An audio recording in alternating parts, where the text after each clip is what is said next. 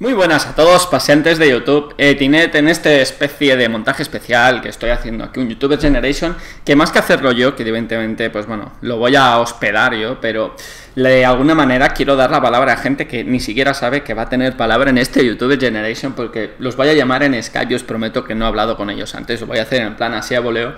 Básicamente por un tema que ya cuando llegué a... volví de mi luna de miel, eh, un tema que me quedó ahí, bueno, vas leyendo las noticias y más allá del, fatídico accidente de tren, ¿no? En, en, en, Galicia, pues eh, hubo un tema que sí que se hablaba bastante, por lo menos lo que era prensa internacional, o por lo menos lo que nos llegaba allí, ¿no? De, de este país, que era la comparecencia del presidente eh, en relación al caso Bárcenas, ¿no? Para los que no estáis mucho el tema, cosa que es rara porque el caso Bárcenas es un caso bastante sonado, pues bueno, eh, básicamente un compendio de partidos políticos amenazó, entre comillas, al presidente Rajoy de plantarle una moción de censura si no comparecía ante el Congreso a dar explicaciones eh, por el caso Bárcenas, que por si tenía algo que decir, ¿no? Eh, y ante eso, pues bueno, el presidente Rajoy accedió a ello ante la amenaza, que tampoco nos le suponía nada más que, el hecho de decir tengo mayoría absoluta y que me pongáis una moción de censura no me va a pasar nada. Lo que pasa es que sí que tendría una mala imagen a nivel internacional evidente y por eso accede a ello, supongo yo. No soy ningún analista político, pero por ahí entiendo que pueden ir las cosas. Y él lo que vino a decir es que era él era inocente, él, él, ¿eh?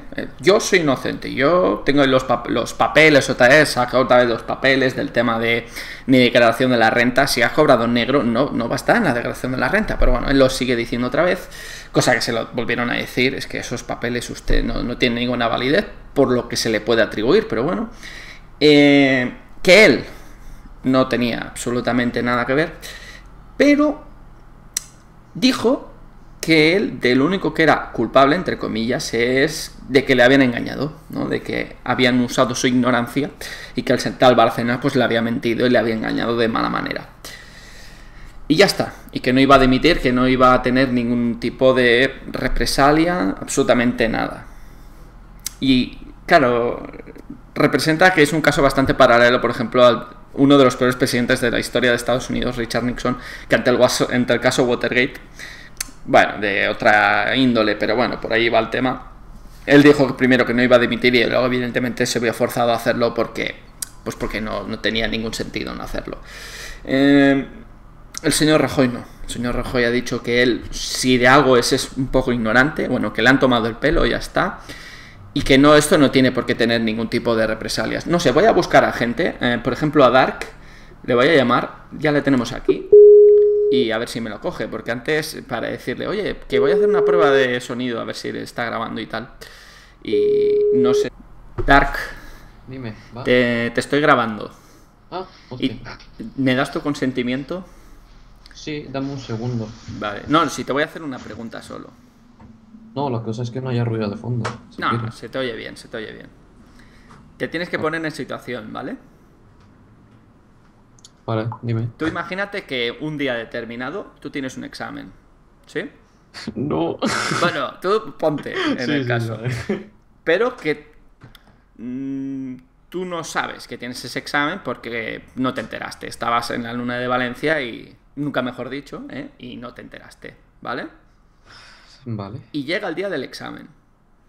Y te enteras en ese momento porque la gente se está poniendo en posición de examen que hay examen y tú se lo dices al profesor, oye, que es que no me había enterado que había examen.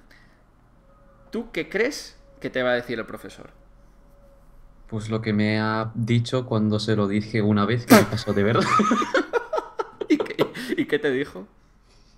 Mala suerte. Mala suerte, ¿no? O sea, en, principio es, entre comillas, tu culpa o estaba en tu responsabilidad haberte claro, es que era culpa mía. Y tuviste que hacer el examen.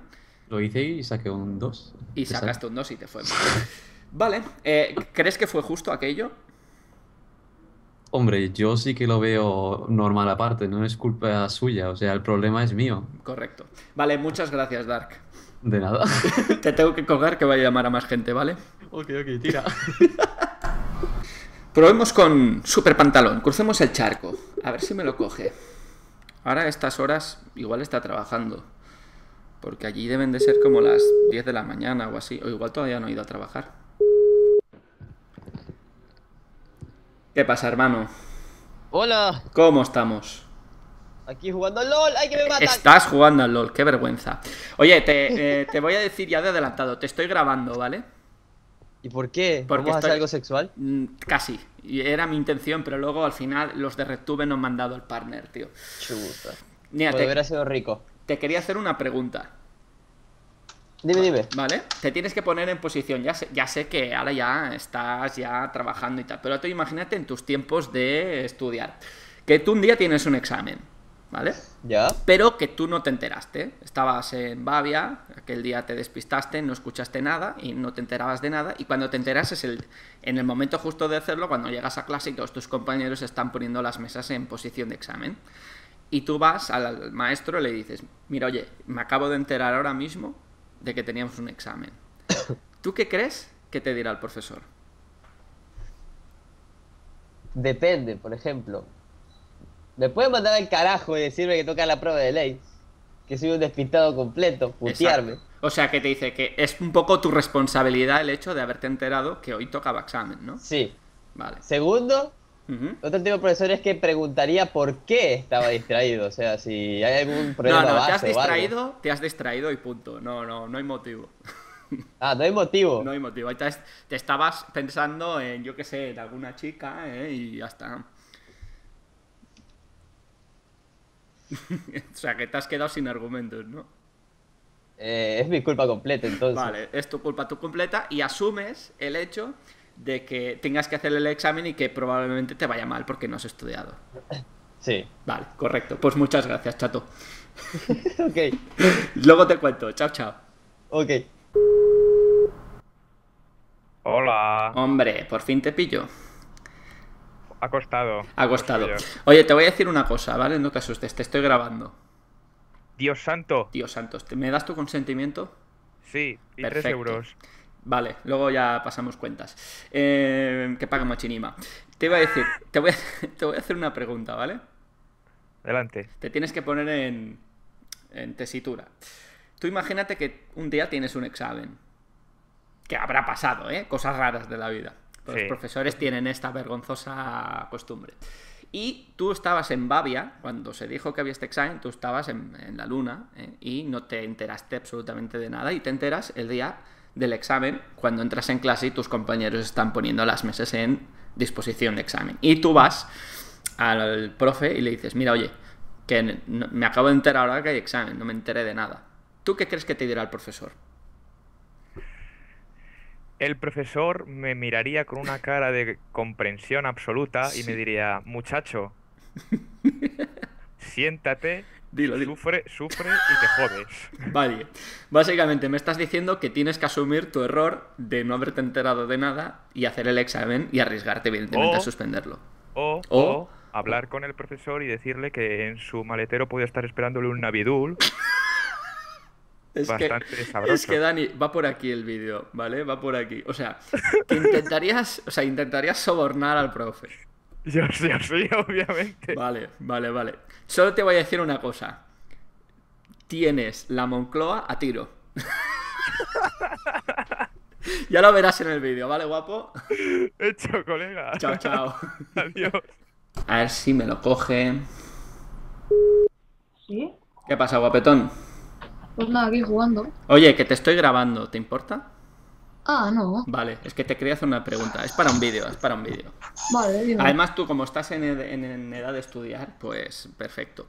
Tú imagínate, tú imagínate que tienes un examen, Sí, pero tú no te has enterado. Tú cuando el profe lo dijo, pues estabas en, no sé, la luna y no te enteraste Sí. de nada. Y cuando te enteras es el día del examen, cuando entras en clase y todos tus compañeros están poniendo las mesas para hacer un examen. Total, que tú vas al profesor y le dices, mira, oye, que no me enteré de nada el día que lo dijiste ¿eh? y me acabo de enterar ahora de que teníamos un examen. Entonces la pregunta es, ¿tú qué crees que te va a decir el profesor? que mala suerte y que haberte estado atento. Ajá. tocaba. Vamos, que era tu responsabilidad saberlo un poco qué día Sí. tenías el examen y ahora es posible que vayas a suspender por no haber estudiado, ¿cierto? Cierto, Vale, cierto. vale, muy bien. Pues muchas gracias, guapetón. No, nada, de nada. Cuando quieras, aquí estoy. Adeu, nen. Adeu. Vamos, o sea, no sé cuántas llevo ya, cuatro llamadas, cinco llamadas con gente que ya veis que, ¿qué coño pasa? Eh, estamos viendo que el que tendría que ser el gran ejemplo para todos nosotros, igual somos nosotros el que, tenía que ser- teníamos que ser un poco el gran ejemplo para él, porque la gente, señor Rajoy, también se le pasan cosas y luego paga, paga con el hecho de, coño, he suspendido un examen porque no me enteré. Eh, y esto pasa cada día. Tenemos que ser conscientes de lo que tenemos que saber y de lo que no tenemos que saber.